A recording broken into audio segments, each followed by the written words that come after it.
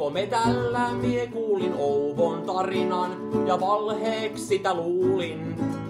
Kertoja hän näytti paikan, jossa karhu kävi kimppuun. Nuoli huuliaan ja niin kuin sikalimppuun. Se pakarasta palan vei ja pohkehesta puolet. Puristi niin jo vain seukko kuolet. Nyrkin työnsin kurkkutorveen irti revin suolet. Tarinasta vähentelin puolet.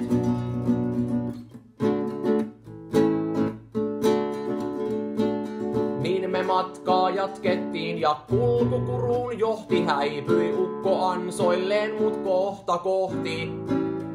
Tuli perässänsä petoahma, kita aivan auki, hetken painivat kuin sääksi sekä hauki. Se pakarasta palan vei ja pohkehesta puolet, puristi niin pirusti, jo vain sieukko kuolet. Nyrkin työnsi kurkkutorveen irti repi suolet, tarinasta vähentelet puolet.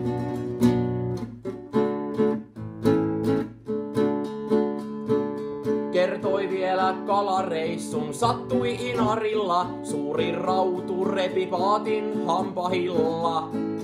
Puntarilla päähän löi hän sitä monen monta kertaa, vetokalalle ei maailmassa vertaa.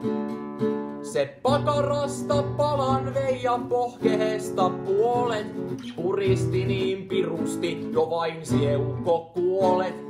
Nyrkin työnsin kurkkutorveen irti revin suolet, tarinasta vähentelin puolet.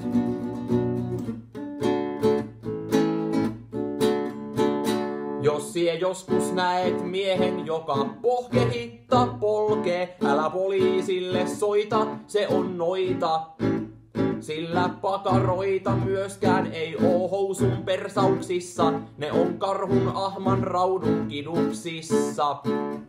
Ne pakarasta palan vei ja pohkehesta puolet, puristivat pirusti, jo vain sieukko kuolet.